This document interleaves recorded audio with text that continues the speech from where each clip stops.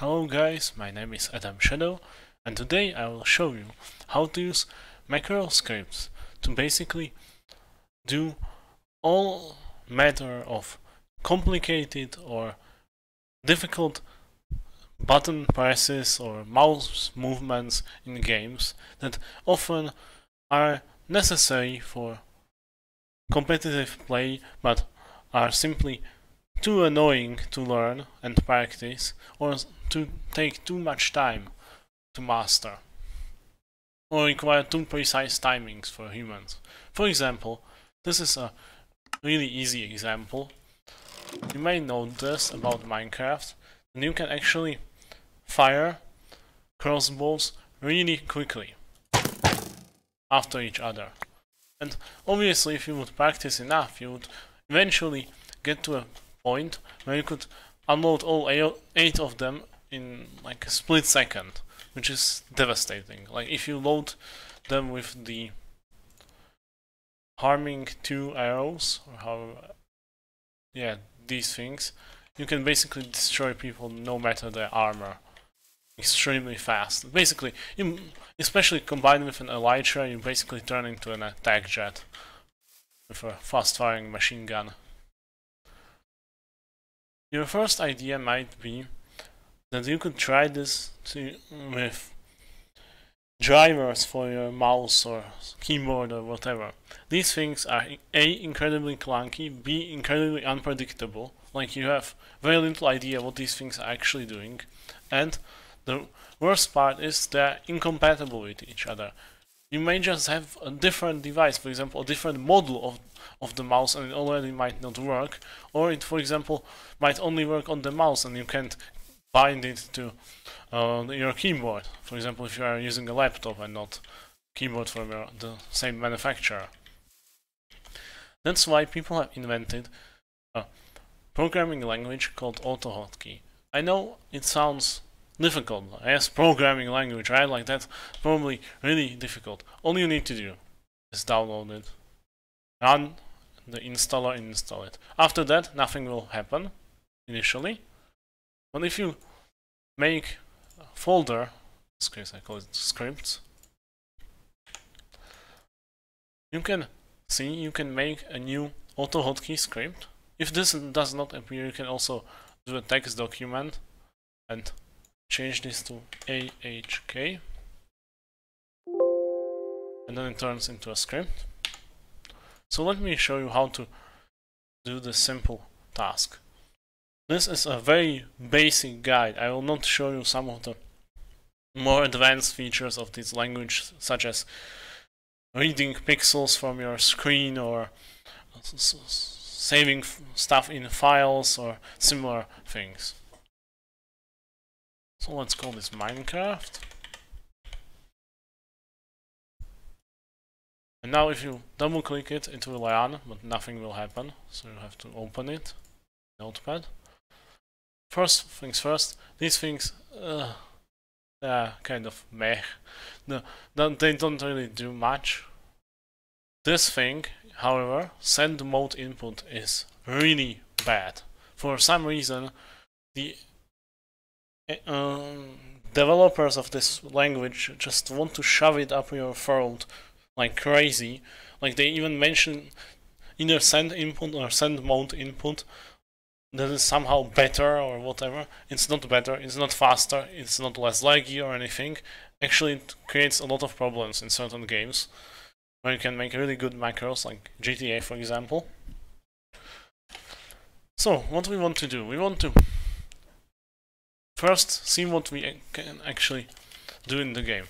What we need to do is we Let's say we are on slot 1, we need to switch to slot 2, hold right mouse button, and after the right time switch to the other one and continue.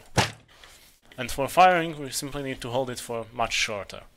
We know that Minecraft runs around 20 frames per second, which will be pretty useful, since now we can go here, and even before we start with anything, we can set key delay to 50 milliseconds. So it when you when the command presses the button, it will stay pressed for 50 milliseconds, and another 50 milliseconds, which will be the the the interval between the individual button presses. Same thing with mouse delay. Mouse delay is not ideal if you want to move the mouse, but in this case we are not doing that.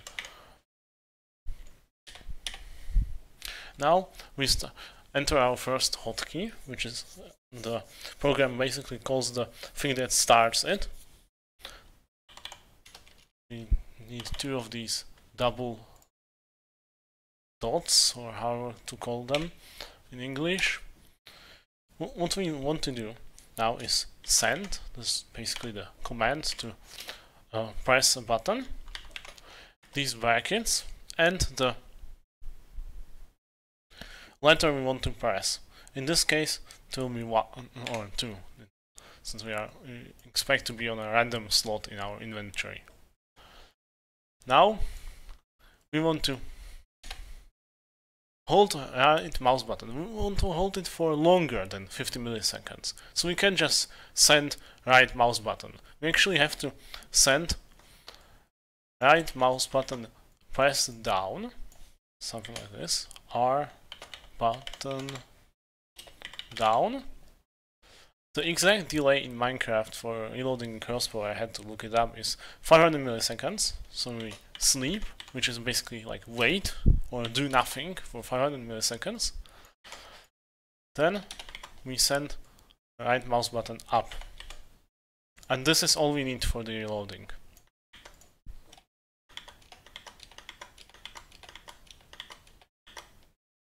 Now we just change these numbers.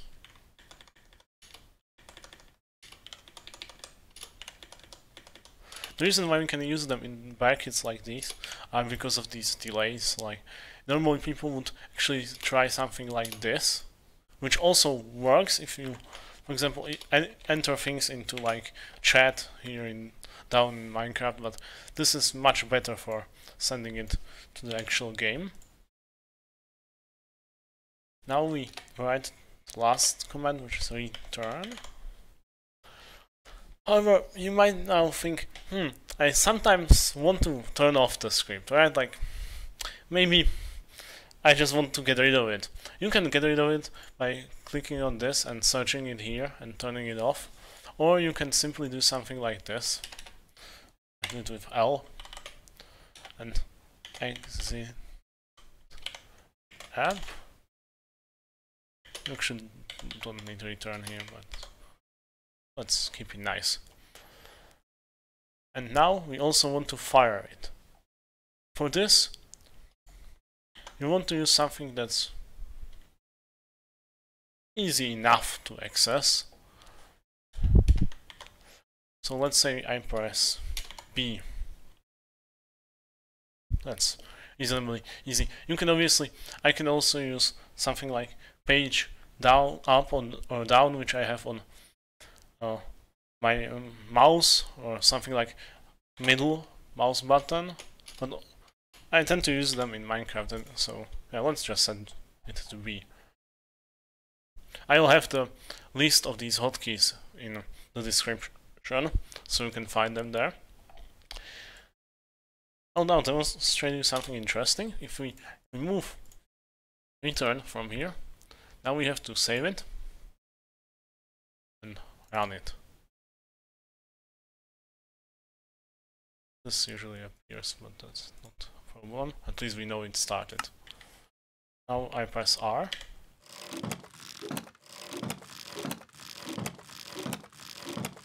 And see that's really really fast. Much better than I could ever do. And now let's fire.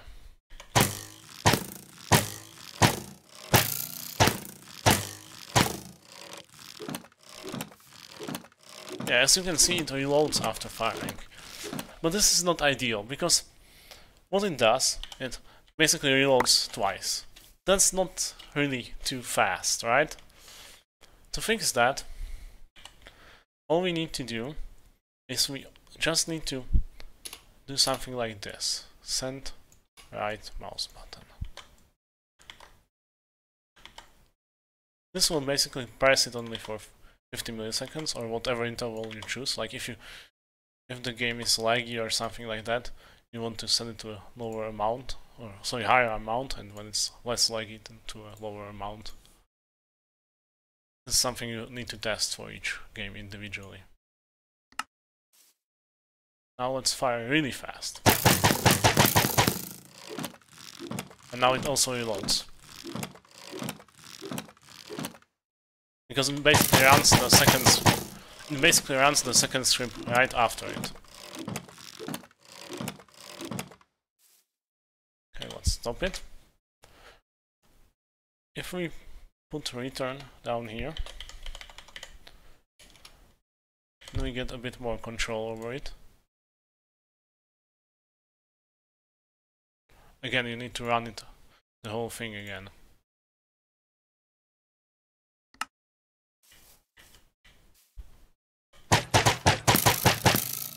Now, as you can see, I can freely move. I can use all of my keys while this is even aim with my hand while this is running.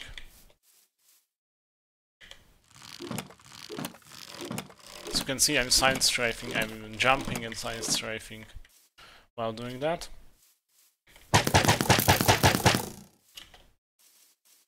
As you can see, it barely impacts anything, and depending on your layout of hotkeys, you can do this really comfortably. Obviously, this also works when we are flying, which I can demonstrate. Let's grab an Elytra if I find it in these new menus.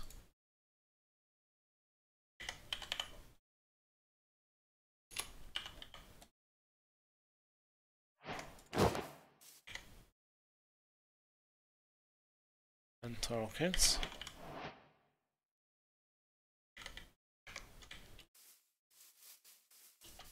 Now we have to turn it on again because I typed the letter L.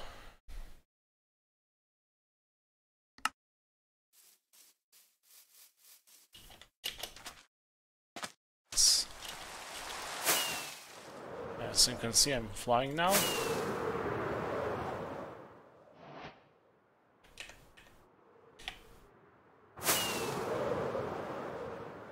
And I can let's bombard that poor tree again.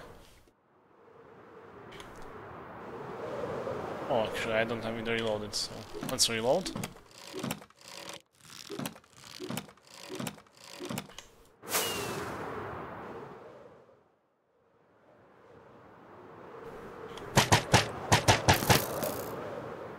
Yeah, as you can see, this is really dangerous.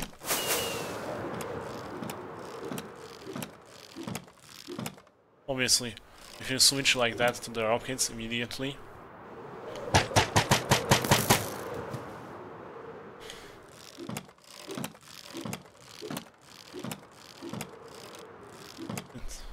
it's not ideal.